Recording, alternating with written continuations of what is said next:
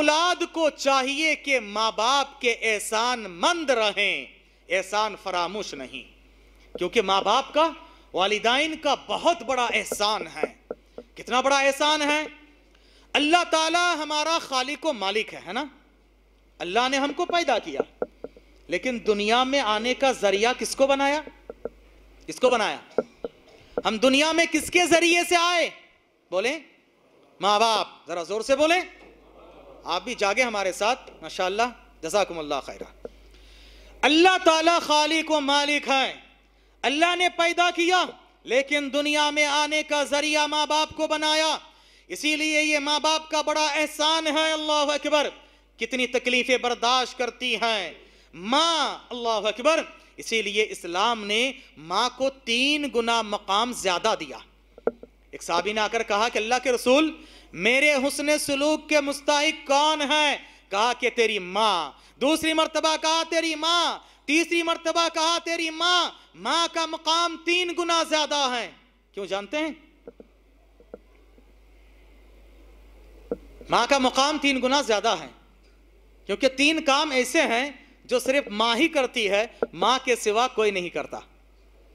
माँ के सिवा कोई नहीं कायनात में। बाप भी नहीं करता है। बच्चे को पहला काम, बच्चे को पेट में रखना। कोई और करता है? माँ। जचकी के वक्त, विलादत के वक्त की तकलीफ़ को बर्दाश्त करना। कौन करता है? सिर्फ़ और सिर्फ़ माँ। छाती से दूध पिलाना कौन करती है? सिर्फ़ माँ। इसीलिए माँ का मकाम, ये तीन गुना ज़्यादा है। अल्लाह अकबर। क्या एहसान है माँ का? क्या एहसान है माँ का? माँ अपने बच्चे के लिए अपने नींद को कुर्बान करती है, आराम को हराम कर लेती है।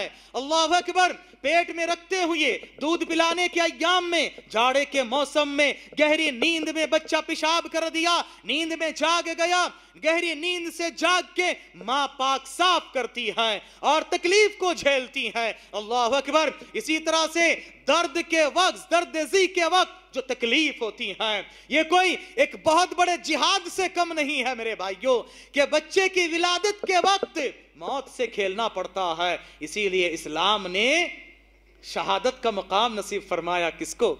वो माँ, जिसका इंतकाल बच्चे की विलादत और निफास की हालत में हो जाए, कितना ऊँचा मकाम है?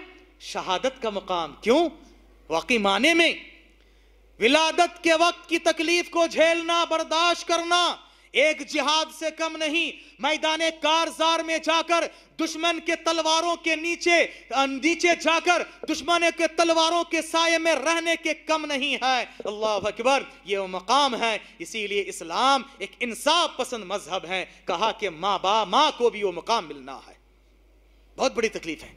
और फिर छाती से दूध पिलाना, ये सब एहसान, अल्लाह अकबर इसीलिए एक साहबी ने अपनी माँ को वालिदा को कंधे पे बिठाया, कंधे पे बिठा के और इब्ने उमर के ताल्लुक से भी एक रिवायत आती है। कंधे पे बिठा के दूर दराज सफ़र करके, काबे के पास पहुँच के कंधे पे बिठा के तवाफ कर रहे हैं और नबी से कहा कि देखिए, मैं अपने वालिदा का हक अदा करने के लिए ये कर रहा हूँ। अल्लाह के रसूल, क्या मैंने अपने वालिदा का हक अदा कर दिया?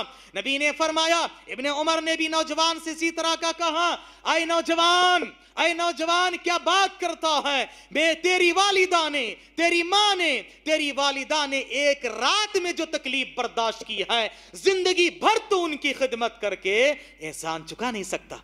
अल्लाह अकबर। लेकिन माशरे में क्या होता है? वफात के वक्त में आकर दूध बख्शवाते हैं। कभी आपने सुना है? दूध बख्शवाने का वाकया? मालूम नहीं? नहीं जानते आप लोग? चलो, अल्हम्दुलिल्लाह, नहीं जानते तो अच्छी बात है। दूध बख्शवाते हैं। वालिदा या इंतकाल कर रही है। ऐसे वक्त में, निजा के वक्त में आकर औलाद को दूध बख्शवा दो। अरे, दूध तुम बख्शवा सकते हो? एक रात की तकलीफ़ को तुम बख्शवा नहीं सकते हो। दूध की बात करते हो माँ बाप के तय एहसान मंद रहो।